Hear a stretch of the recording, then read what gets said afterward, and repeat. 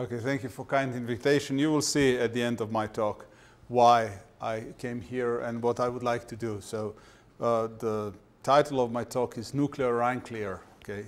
And are any inositol phosphates doing something with the cell cycle? So if you've opened the textbook, I'm a physiologist. Uh, this is the Guyton, famous textbook. And if you look at the signaling, so it's very well known if you have hormone or peptide, uh, it can activate the key enzyme, the phospholipase C, and then it will produce IP3, which releases calcium from endoplasmic reticulum and the diacylglycerol, and then the protein kinase C gets activated. You get the protein phosphorylation, and then you get the cell response. So this is very simple book because the Guyton is simple book. If you, for example, look at the other book, which is much more complex, like a Boulpaep, then uh, you will notice that this lipid signaling story becomes more complicated if you look uh, at example of the insulin that you will get that this insulin responsive substances will then activate one of those three kinases then there will be some kind of phosphorylation of inositol lipids and then you have the AKT which will then produce effects of the of the insulin in the cell. So it's rather simple when you are on the gradient and you are studying the, the simple physiology, but then if you try to do the science and see, okay, what's going on in a real cell, so then it's become much more complicated because you have those inositol lipids. This is the major pathway which gets phosphorylated. Here you have this, the, the phospholipase C. Then you have the so-called three kinases which will add three phosphates to this inositol ring and you have different isomers. But remember that there are two different major signaling pathways. This is the phospholipase C pathway. The other is so-called 3-kinase pathway. Uh, most of those inositol lipids or do possess some signaling functions. This will be produced when the cell is under stress. And this part will be produced when cell, for example, go to endocytosis. Those signaling molecules has something to do with the endocytosis. Uh, besides inositol lipids, you have the phosphates. Now it becomes even more complicated. If you try to kill undergraduate student of biochemistry, you will ask him or her to do this very simple trick, try to write down different molecules. So what is going on? Uh, here you have the phosphorylation, so the inositol phosphate, this is the IP3, will get phosphorylated, this is the IP6, this is known as the phytic acid, and this is the growth uh, uh, hormone or growth factor for the plants. So in mammalian cell, it's rather complicated, but in budding yeast, you have a little bit less of the enzyme. Uh, the principal question is, okay, why the cell produces uh, inositol phosphates. If you, for example, measure or calculate the amount, you will notice this is the molecule which releases IP3. This is very low concentration in the, in the cell. And if you are phosphorylating this, you will actually increase the amount of the concentration of the molecule. If you compare the concentration of IP6 to IP3, it has about 1,000 fold increase in concentration. So the simple question is, what is going on, why the cells do actually uh, phosphorylate inositol phosphates and what is the function of inositol phosphates. So uh, for trying to describe what I was doing in the last 30 or more years, uh, I will need some uh, help from some friends which whom I was working for a long time period. Okay, so uh, I will point some of them. So this is the key issue. This is Robin Irvine. He is the guy who is actually Nobel Committee. Uh, he discovered the IP3 signaling, and he's my old friend when he was actually uh, postdoc in Rex Dawson Lab, and it was 30 or more years ago. The other guy here is Nal De and this is me, and Nal and myself did initial experiments on nuclear lipid signaling.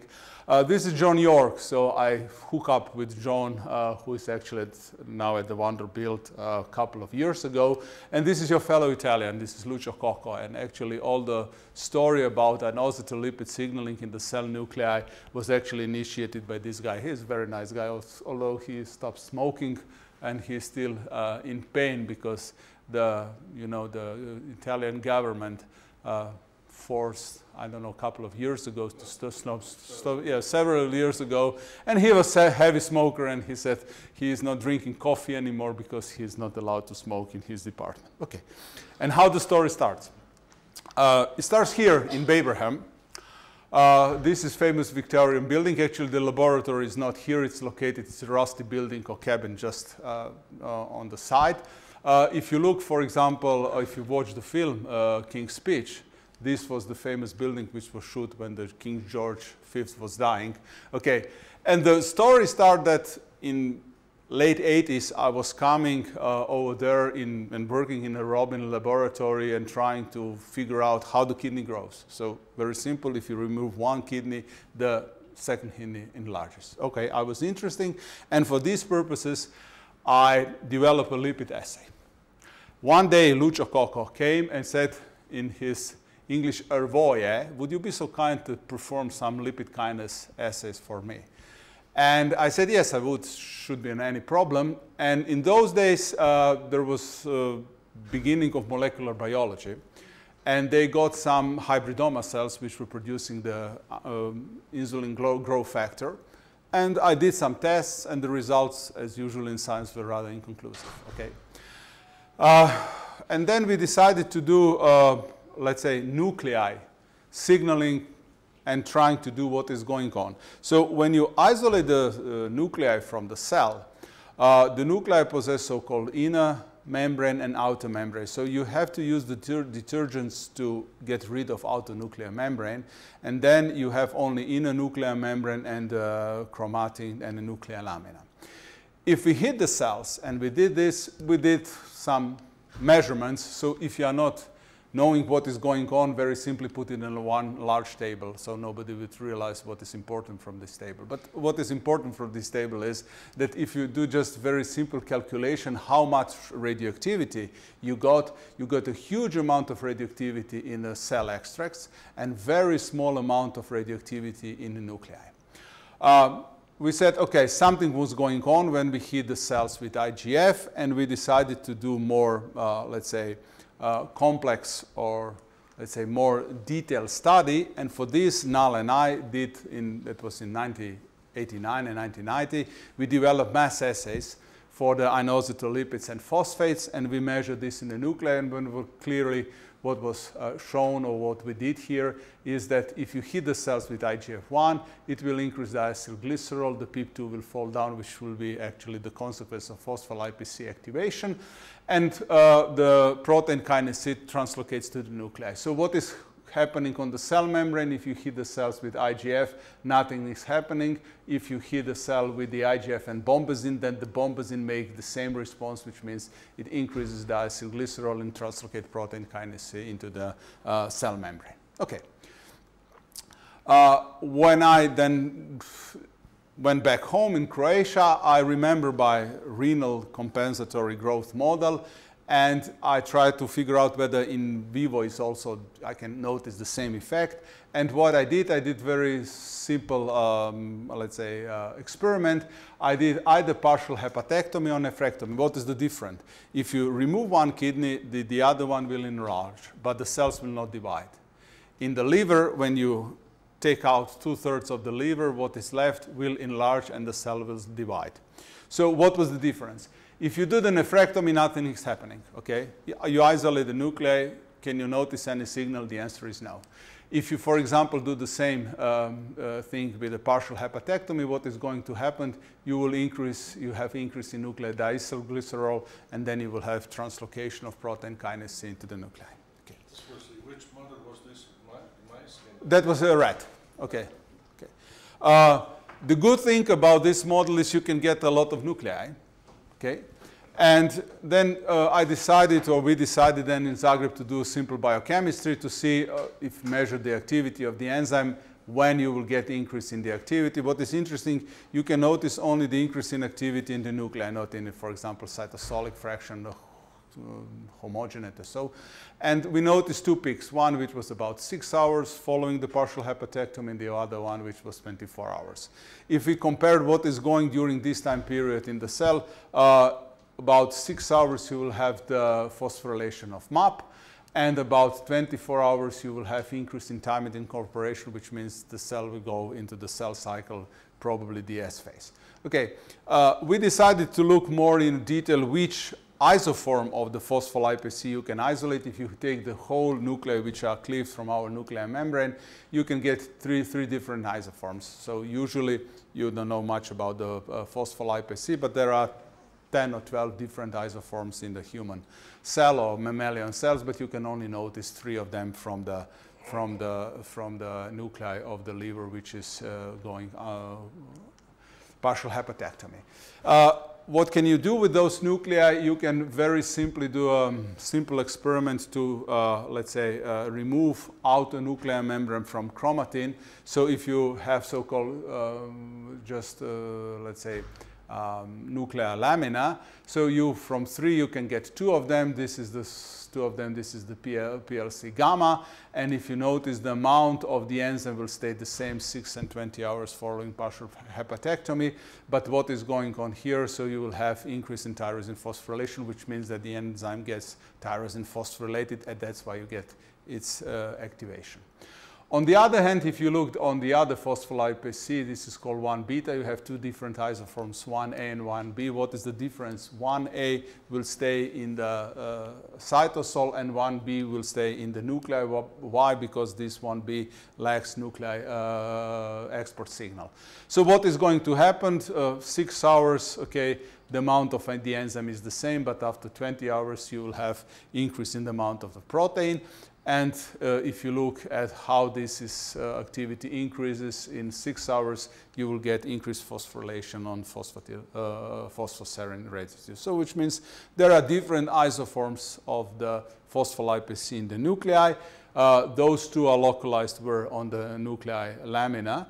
But if you look at the chromatin, you can isolate the chromatin from the cell. The, the PLC delta actually is localized there. So what is happening, six hours, nothing is happening, and about 20 hours you will have increase in the amount of protein. So uh, we can conclude from those experiments that there are different isoforms of phospholipase C which are localized in the nuclei. They have different uh, types of um, uh, activation.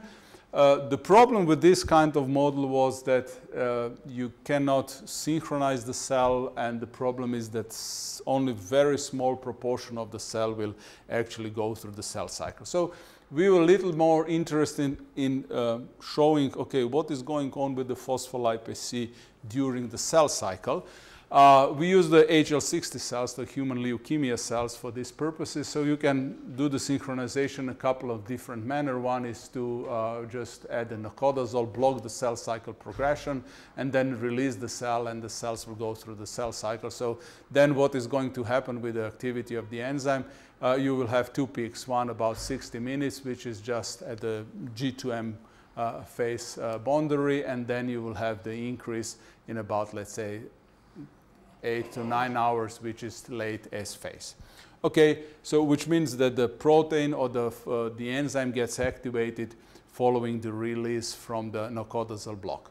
Uh, if you look at more detail uh, which isoform is involved, you can do the immunoprecipitation and you can nicely immunoprecipitate the enzyme with the anti-beta 1 antibody, which means not the gamma 1, which means that you have increase in the activity of the phospholipase C beta 1. Uh, if you look, or if you look in more detail, as I told you, there are two different isoforms, one which is uh, 1A, which is localized in the cytosol, what is happening? Nothing. One what is, uh, which is localized, which is 1B, okay, if you look the amount here in the cytosol is very low. Uh, if you look at the nuclei, what you will see, you will notice no difference. So you can conclude from this the amount of the enzyme will not change. Okay, but what will change? Uh, uh, it will change the amount of phosphorylation. So, for example, the amount of phosphorylation of the enzyme in the cytosol will stay the same. But if you look at the amount of uh, phosphorylated enzyme in the nuclei, it will increase if you use the phosphoserine antibody, which means, okay, fine, uh, uh, what is going on, the enzyme gets activated by uh, phosphoserine uh, phosphorylation. Uh, you can play with uh, signaling pathway, how to use the MEK inhibitor. We know, or we did some other experiments, that uh, this kind of activation of phospholipase C is due to the MEK kinase uh, activation. If you look, for example, if you use the inhibitor, you can block this phosphorylation, which means that the phospholipase C is downstream of the, of the uh, MEK or MAP kinase. Um, now uh, you can measure the activity and notice if you, for example, use the, either the, the phospholipase C inhibitor or you use the MEK inhibitor, you will actually inhibit the enzyme activity. If you're using some other inhibitors which are not specific for this signaling pathway, what is going to happen? Nothing is happening. Okay, fine, which is uh, the same proof with another manner what is going on here. Uh, the simple question is uh, what is going on if, for example, if you use or inhibit the enzyme activity with the cell cycle. Uh, very simply, if we do this, so what is going to happen? This is the progression through the cell cycle. If you use the inhibitor, the progression of cell cycle will be delayed. So uh, remember that, for example, if you don't have the phospholipase C, what is going to happen? You are flying over the Atlantic with um, for example, with a plane with four engines, if you shut down one engine, still you have three engines, so the cells will fly, which means they will go to the cell cycle, but it will be a little bit delay. Uh, the other thing, or the same experiments, what can be done in, in any other manner is, for example, you can block the cell cycle progression if you just um, starve the cell. So if you starve the cell, omit the fetal uh, FBS, so what is going to happen? Okay, the cells will stop in a cell cycle, and then if you release them, so what is going to happen? Once again, you will see increase in the peaks of the phospholipase C. Those peaks can be once again blocked by specific inhibitors, and this peak corresponds for, to, for example, to early G1 phase, and this one corresponds to the late G1 phase. If you look, for example, what is going to happen, what is happening once again, so the enzyme gets activated by phosphoserine phosphorylation. Uh, if you look at the cell cycle progression, if you actually do the same experiment, if you block uh, the cell cycle progression by different uh, inhibitors, what is going to happen? The cell cycle will be delayed. So from all those experiments, what can be concluded? Uh, the enzyme gets activated by a um, MAP kinase. Uh, the principal enzyme is uh, beta 1b, which is known to be localized in the nuclei. It gets activated in, let's say, three points during the cell cycle in early G1, late G1, and G2M phase.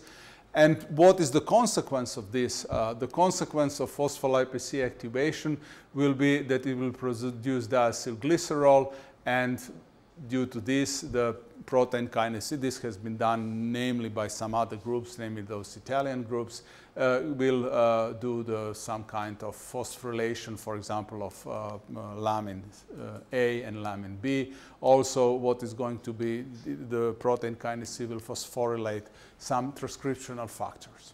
Uh, what I was then interested in was, okay, if the phospholipase C is in the nuclei, and if the phospholipase C gets activated, so what is going to happen with this IP3, which is known to be the signaling molecule in the cytosol? Uh, remember that cell do not, the cell nuclei does not uh, release the, the calcium from IP3 because there are no receptors.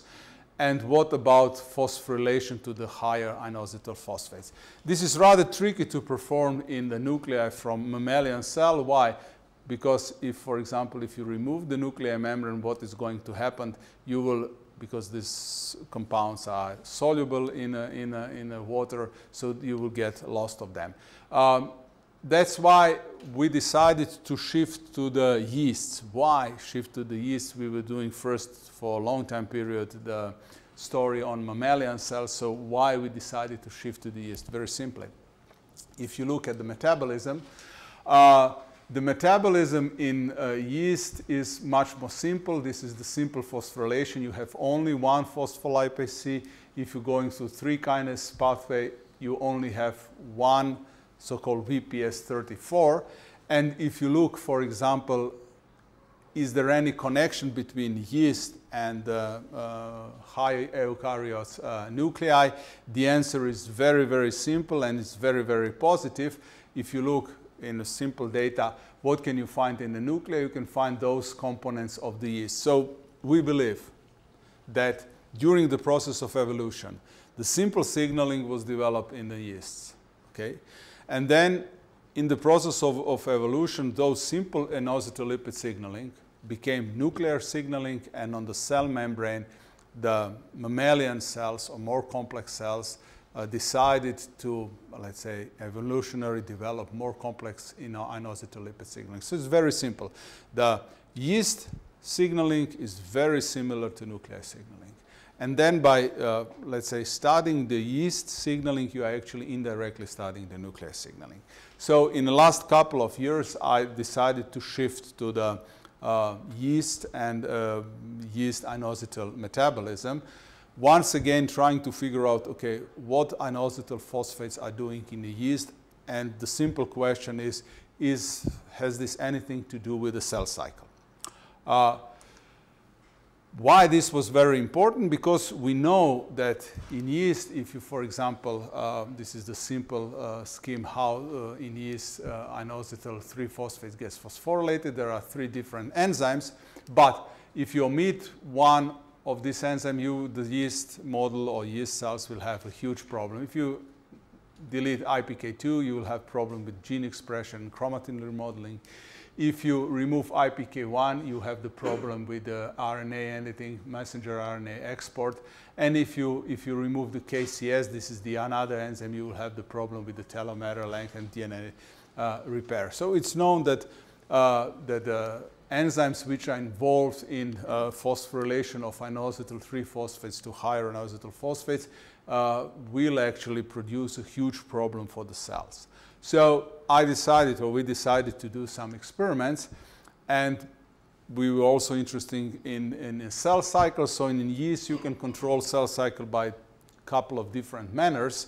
And one of the issues is to uh, add the alpha factor. Alpha factor is actually mating factor. Maybe you know, maybe you don't. You have two ion alpha, and so when they will try to have sex, so they are secreting different factors, and the factors when they are in, so they have sex and they then they go for sleep. Okay, but if you have only one or A, so if you add the alpha factor, what is going to happen? These are normally um, unsynchronized cells. If you add the alpha factor, what is going to happen? You will have this type of schmooing, which means it will wait until you remove the alpha factor and then it will go through the cell cycle. So normally in yeast you have this logarithmic phase so most of the cells are in the G2M phase. If you add the factor for a couple of hours, you will, most of the cells you will have a G1 phase and then you will, by simply releasing the cell into the fresh media, you will go through the cell cycle. And that's why I decided to uh, do a little bit of biochemistry. As in my nature, I'm lipid biochemist. So uh, I did very simple uh, measurement. I add radioactive inositol and look what is going on. So if you, for example, look at incorporation rate, which means you are looking at metab metabolic turnover. So what is going to happen if you release the cell from the alpha block, what is going to happen? You will have increase in the PIP2 and you will have increase uh, in IP6. Why in those two compounds? Because they are most abundant in the, in the, in the yeasts. So um, from this experiment, very simply, I could notice that, okay, something is going on. Let's see in more detail what is going on in those cells. If uh, we pre-label the cell to isotopic equilibria, which means uh, the uh, inositol incorporates in all inositol phosphates, and then release the cells from the alpha factor block. So what can you notice? So this is the HPLC profile. So uh, you can notice the increase in IP3, radioactivity, which means concentration, the uh, amount of radioactivity in IP4 and IP5 stays the same. Uh, there will be increase in IP7 and IP8. Remember those uh, phosphates because you have the inositol ring has so-called pyrophosphates. They have two phosphates on one C uh, molecule. And you have the IP6. So uh, let's see what is going on in this system. very simply, if you look to the time course, you will notice the increase in IP3, you will notice the increase in PIP2, which is actually precursor of this. If you measure the activity, you will increase uh, notice the increase in the phospholipase C activity, which means following the release of alpha, alpha factor, the phospholipase C gets activated. Uh, the beauty of the yeast system here is that you can use the inhibitors, but you also have the mutants and see what is going on. For example, if you do the same experiment and use uh, inhibitor, which will inhibit the phospholipase what can you notice? in about let's 30 minutes what is going to happen with those inositol phosphates. They do have a high uh, turnover rate and they will disappear. So this IP6, which is very abundant, it will take a little bit more or longer time. It will disappear in about 120 minutes. So, okay, that's fine. Uh, but if you ask yourself what is going to happen with the cell cycle then, uh, the cell cycle will change uh, very much. How? This is normal cell cycle in a yeast following the release from alpha factor. It will go through the cell cycle. If you block the phospholipase C, so the cells got stuck. So there will be some, let's say, they will start to progress to, through the cell cycle in about 120 minutes. If you have the phospholipase C mutant, which means it doesn't have the phospholipase C, it looks the same, which means if you don't have the phospholipase C, it will be rather difficult for cells to go through the cell cycle. Okay. The other thing what uh, we were interesting, okay, as we noticed that this pyrophosphates IP7 and IP6 increases during the cell cycle progression, let's see what is going on, how this is uh, happening. Uh, the precursor is IP6. Once again, it will drop down. If you measure the kinase activity, and this is the KCS, you have this top KCS uh, yeast. So what is going to happen? You will have increase in the uh, activity, which means you have the increase in the enzyme which actually phosphorylates these uh, compounds to the pyrophosphates, which means you need to have increase in the pyrophosphate concentration. So you can now uh, ask yourself, okay, what is going to happen, for example, in a mutant which doesn't have this enzyme here? So what is going to happen with the cell cycle? Very simply, you have delta KCS, which means, fine, uh, you won't notice any pyrophosphates, okay? Still, you will have increase in IP3. The level of IP6 will stay the same. So you omitted all the pyrophosphates. How this will affect the cell cycle? Uh, very simply, okay, if you have delta KCS1, the problem, huge problem with the cells, it will not go through the cell cycle. The cell cycle will be delayed.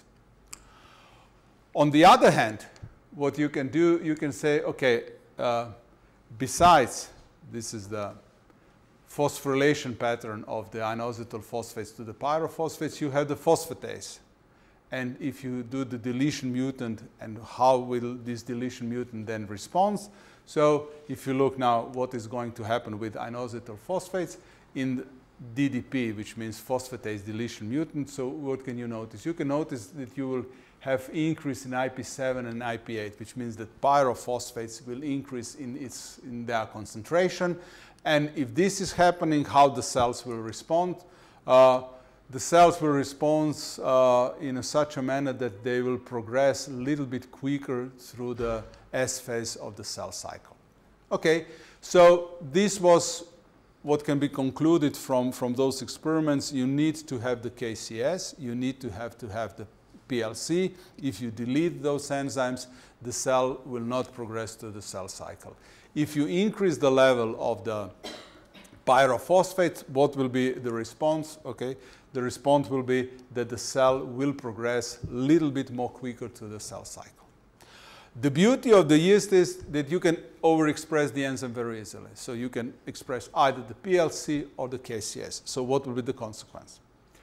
Uh, if you overexpress the KCS, so what you can notice, those pyrophosphates will be increased.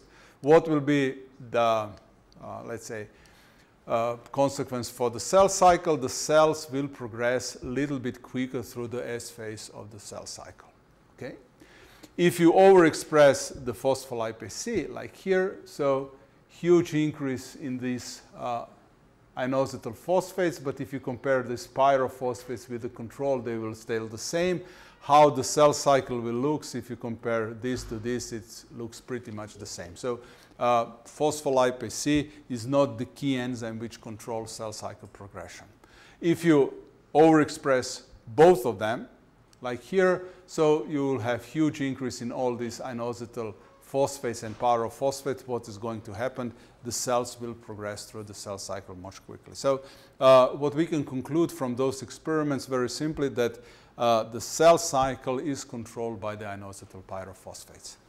And now this is the key question is how, okay? This is just a phenomenological uh, manner, so this is something which we did, or I did most of those HPLC experiments in the last couple of years. The cell, the cell cycle is somehow controlled by the inositol pyrophosphates, and now we come to the question how. Okay, There are a couple of different issues uh, how this can be done. One, which has been known, is very old story that, for example, telomere length may be controlled by the inositol pyrophosphates. It's very well known. This has been published for a couple of years. Uh, this compound here can control telomere. So if you have uh, the maintenance of a telomere is rather complex story, it happens during the S phase. Uh, the telomerase, the enzyme which is uh, actually uh, elongating the telomeres needs to have some proteins, and one of the proteins is this TEL1. This TEL1 actually will uh, be capable of activating the telomerase and then by extending telomerase. This compound here, which is known to be 5-PPIP4, so it will block this uh, protein here, and that's why you will have short telomere. So if you just measure the telomere length, so this is the wild type here, and this is the uh, delta tel. So what is going to happen? Those delta tel cells do have uh, short telomeres.